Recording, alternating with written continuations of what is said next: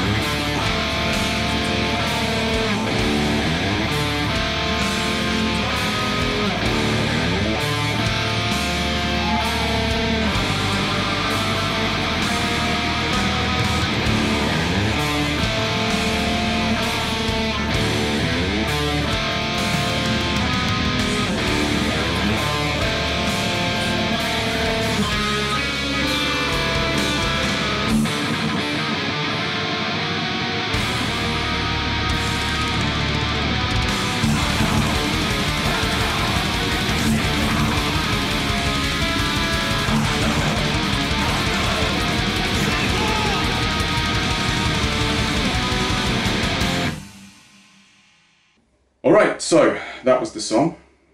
But how do we play it? Let's find out. A few things to say about this song first. Uh, it's a very old school kind of song. It's very raw. The plan with it originally was to write something that sounded like it could have been written before the age of computers kind of took all the writing process onto the digital realm. So this, I wanted it to sound like it was written, you know, in a rehearsal room with the sole intention of being played live. And we do play it live, and it works very well actually.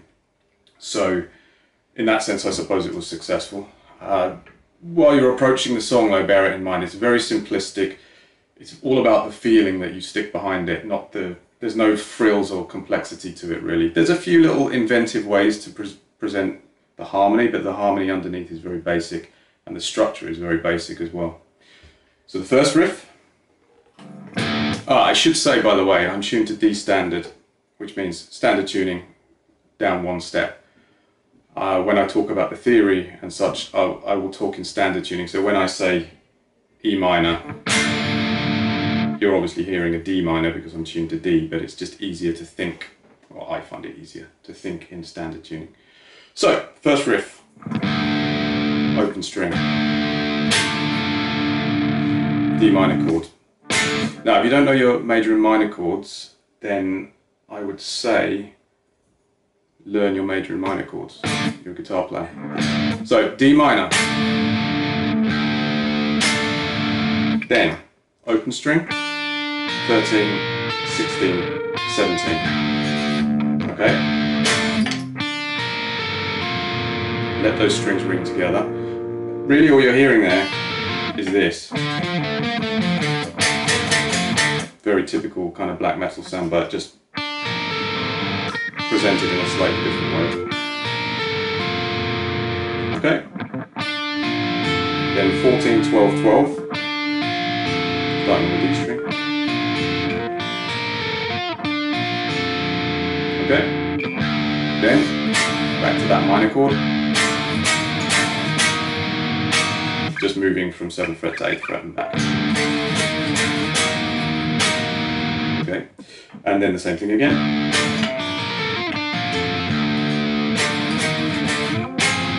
Moves up to 10th fret for a two count. So one, two, three, four, one, two.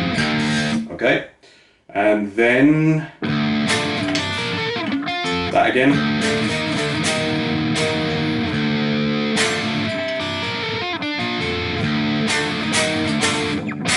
This time we go down to the fourth fret. Also for a two count. And that's basically the whole riff. I'll play the whole thing for you now with a click so you can hear it in context.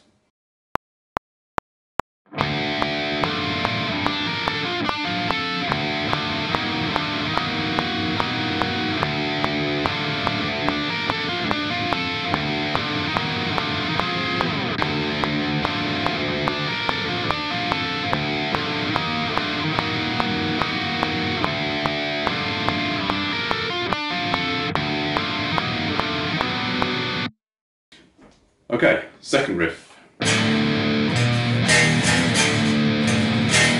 It's that old school kind of sludgy groove riff. This one is very simple. Bottom two strings, power chord. Hit the third fret on the A string, but leave the bottom string ringing. You hit the bottom string again, you might find that you lose that, that tone a little bit. Okay, then it's power chord, the first fret, third Third finger stays where it is. Second finger moves to the second fret. Okay. Um, now it's a weird collection of notes. It's quite a chromatic riff. The reason that it sounds logical is because as one chord moves to the next, one note is always staying in place. So you're only ever moving one note at a time. That gives the ear a, a sort of reference point or a, something to latch onto as you move from one chord to the next. It's quite a nice little trick if you're writing these these dissonant kind of riffs, which you probably are if you're a metal guitar player. Uh, sometimes it's useful to give the listener something to latch onto rather than just presenting a ton of weird chords one after the other. Give some sort of connecting point, and in this case, like I say, the connecting point is the fact that one note stays in place all the time. Okay, oh, and another thing about this riff actually, on the album, think I think Teloch is playing something slightly. Well, he is playing something slightly different. I think he's doing that uh, tritone, tritone instead of power chord to a tritone. And when we tracked this, it was down to some sort of miscommunication uh, between the two of us. And when I when I sent him the riffs, I, I don't exactly know how it happened, but the point is, when we recorded it, I noticed we were playing. I was playing that, and he was playing that, which shouldn't have worked, but somehow it sounded. I liked it. I liked the sound. It, it added this this extreme moment of dissonance in the middle of the riff. So we decided to keep it like that, and that's a cool thing about music is sometimes no matter how much you think you know or how clever you are, the random chaos of the universe knows better than you do. And in this case, it was like that. So uh, it's kind of like an art by accident or incompetent, depending on how you choose to view it. So anyway, that's that riff, and then it just moves up to second fret. Yeah. So we go. From there, up to second fret, same riff, but just played second position instead of open. So I'll play you those two riffs back to back with a click so you can hear them in context.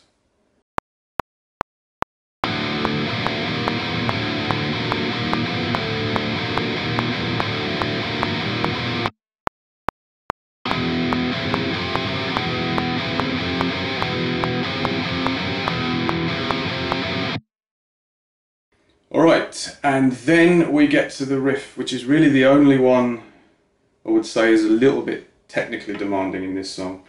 Uh, it's this. Okay, now when we did this on the album, everything I was thinking in threes, so one, two, three, one, two, three. Yeah. That's better. Yeah, so the when we do it live, sometimes that scales down to two because sometimes the tempo we go a little bit harder. It really depends, but for the album version, we're thinking in three. So, so that's just a minor chord,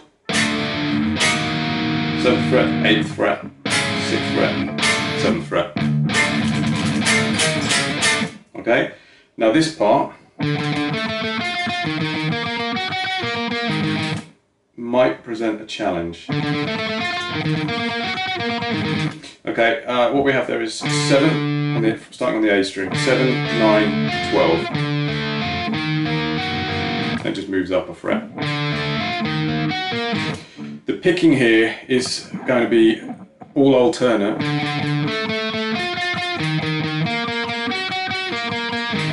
in threes and it can be a little bit tricky so what I suggest that you do if you have problems with it as you may well do, is take those notes.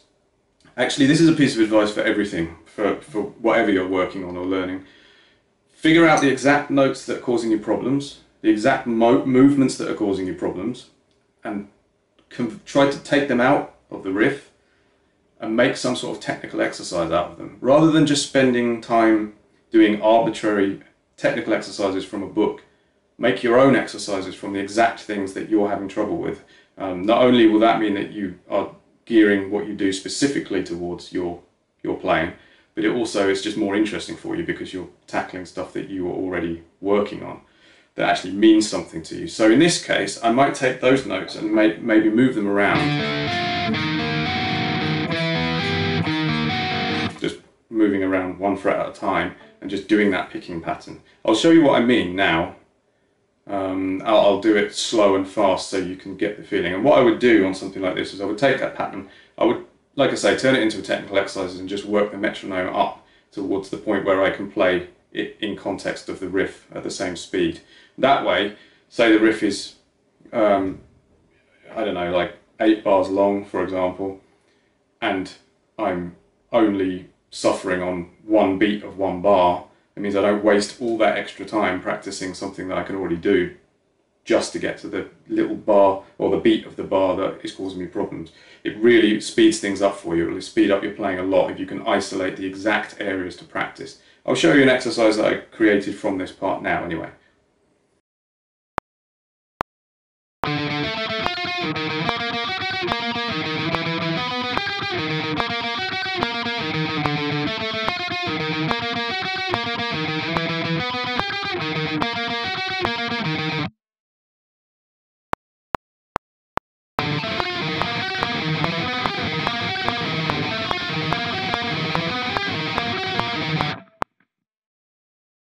Okay, so you can now work on that if it was causing you a problem and bring it up to the speed of the rest of the riff. In the meantime, if you want to play the riff and that part is a problem, you can just play play at single notes and then you can at least play along with the song. If that's too difficult, then bass. Um, next is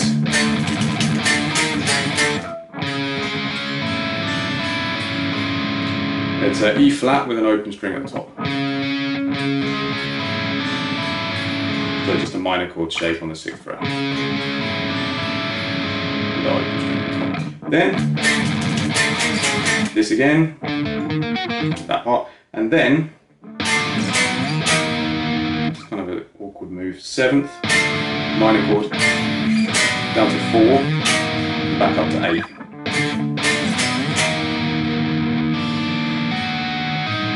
Open string and then back down the chord. Okay.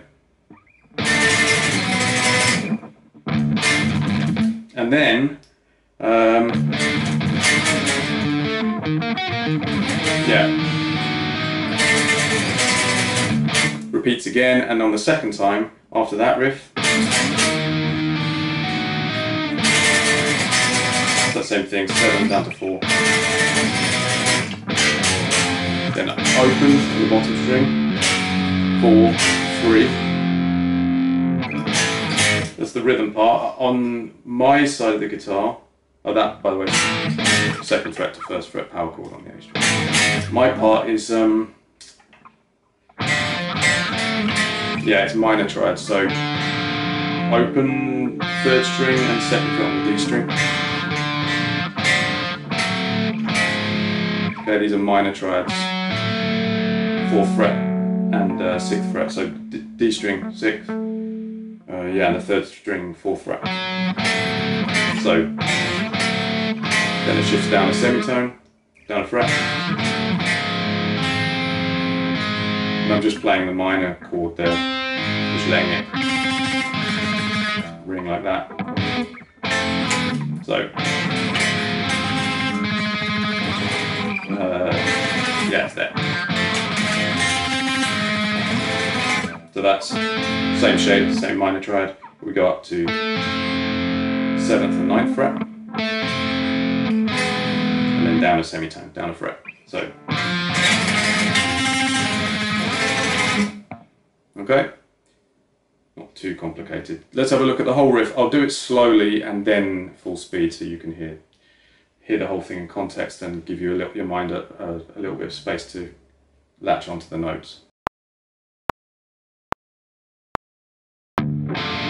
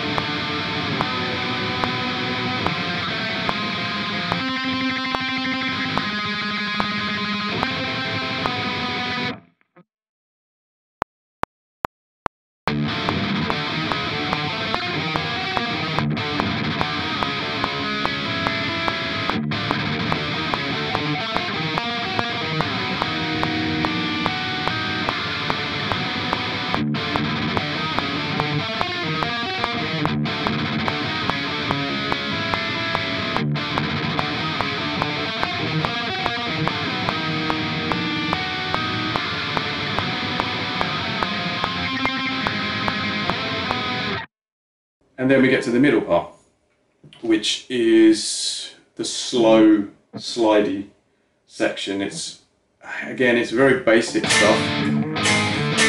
It's all minor stuff, but it's dressed up in a way that looks and sounds more complicated than it really is.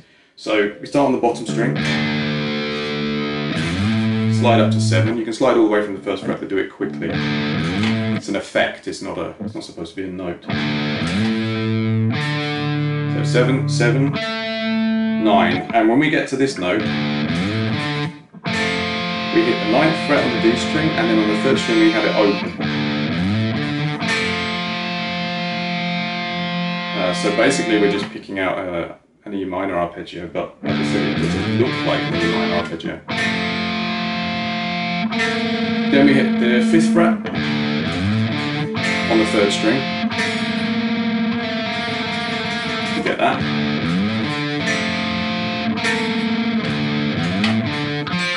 do that again, but this time we land on the on this minor triad. Uh, uh, 8th fret and 6th fret.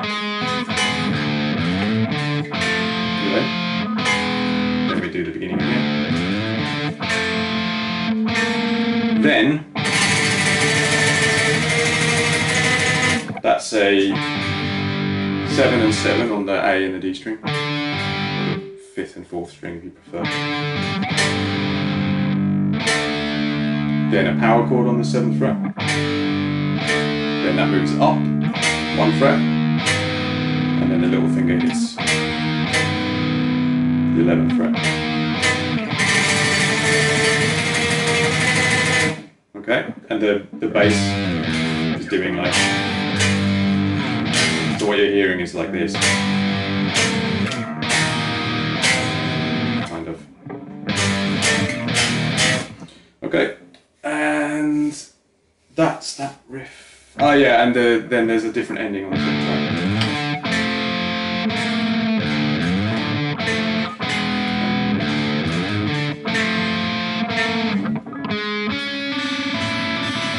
Okay, so that is the again that E flat minor shape, the minor on the sixth fret,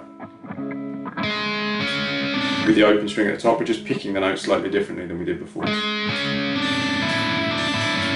Okay, you can figure that out. I don't need to talk you through string by string, I'm sure. You just hold the chord down and you'll work it out. Okay, that is the whole riff. So let's have a look at that with the click.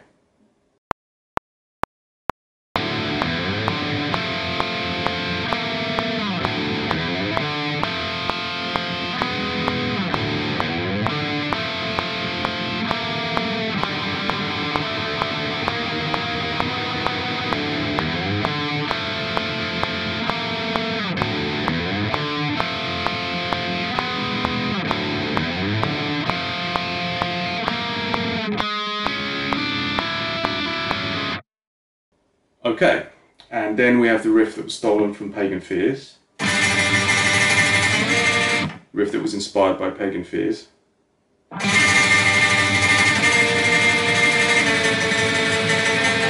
Okay, so it's seven and nine on the fourth and third string. Then uh, major triad, which is 10th fret, 9th fret shifts down one, one fret, and then the first finger moves to the seventh fret and back to the eighth. So basically it's going major triad, minor triad, major. It's a bit, it's an interesting sound. There's quite a number of ways you could analyse that if you really wanted to, if you wanted to get into the theory of what's actually happening there. But that's beyond the scope of what we're doing right now. Okay. Then up 13 and 11 minor triad. That's the whole riff. Uh, let's let's see against a click.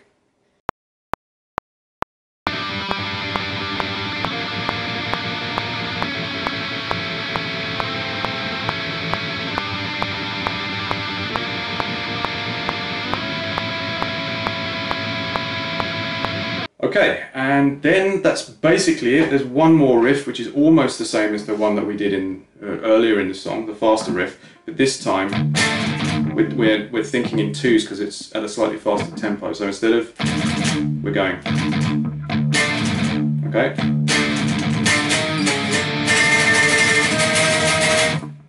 So we're not doing this, this thing anymore. We're just playing the minor chords, like this.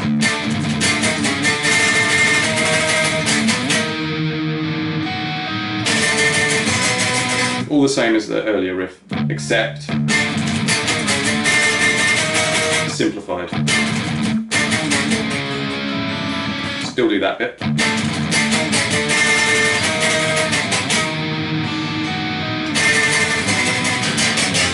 Okay, so we end there. We don't play those last two notes that were in the previous riff. So again, let's look, look at that one with the click. I won't bother doing that one slowly because like I said, it's very, very close to the riff that I already showed you.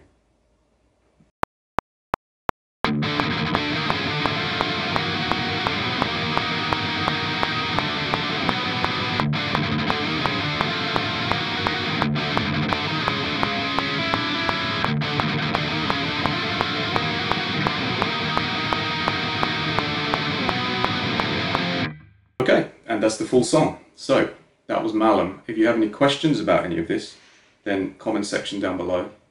Bearing in mind I already explained the beard. And um, if you like the video, then like the video because it will let me know that it's worth me doing these things. I'll put some links in the description as well for various things. And I will endeavour to have another one of these done within a couple of weeks, I suppose. We'll see how it goes. Thanks for watching, and I'll see you in the next one.